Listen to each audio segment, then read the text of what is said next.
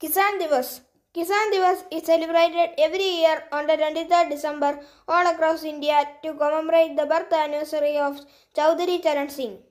Chaudhary Charan Singh was born on December 23, 1902. He was a great farmer and former Prime Minister of the country. He introduced many policies to improve the Indian farmer's life.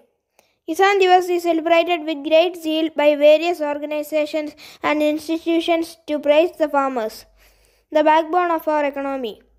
The day is celebrated to promote the awareness among the citizens of the country to understand the importance of the contribution of the farmers to the society and all over economic and social development of the country.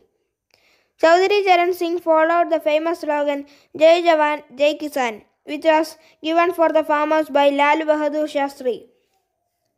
Farmers are the backbone of society and majorly contribute to the economic development of India. They grow food even after facing the utmost difficulties and burn their skin to feed us, keeping them wretched and backward. So they should be helped and appreciated at the same time.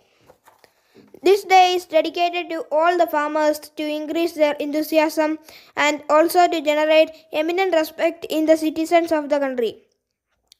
Kisan Divas is a reminder to everyone that, the, that we must respect, thank, and appreciate the hard work of our farmers who work hard to give us food.